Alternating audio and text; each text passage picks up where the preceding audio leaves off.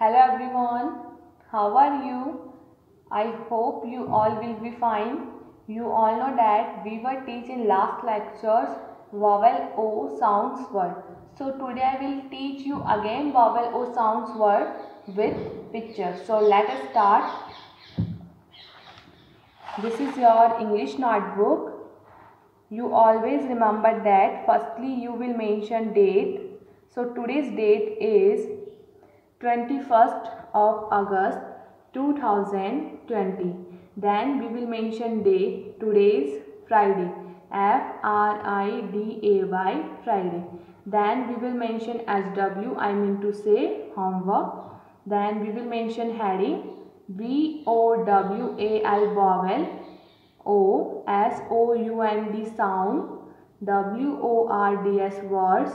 W I T H with F sorry P I C T U R E picture. Vowel O sounds word with picture and draw the underline. Also you can see I am already draw some pictures on this page. So firstly you will identify the picture then you will write their name and these pictures are related to vowel O sounds word. So what is this? This is log. So we will write here log L O G. Log. L O G log. And next picture which picture is this? Mop. And what is the spelling of mop? M O P. Mop. Okay? Next. And we will write all spelling in small cursive what is this? This is top. So we will write here T O P.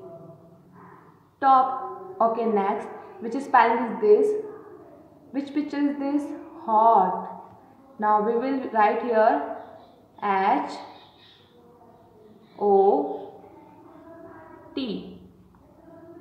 Hot. We will write here hot okay next. Which picture is this? Dog. So we will write here d o g. Dog. Okay next. Which picture is this? Dot. Firstly you will identify the picture and then you will spell out and then you will write. Which picture is this? Dot. D o t dot. Then we will write here d o T dot okay? Then next picture which picture is this? Pot what is the spelling of pot P O T pot so we will write here P O T pot. Okay next which picture is this? Cot. And what is the spelling of cot? C O T cot. So we will write here C O T okay next which picture is this? Log. And what is the spelling of log? L o c k log. So we will write here l o c k. Log. I hope you all are understood today's assignment.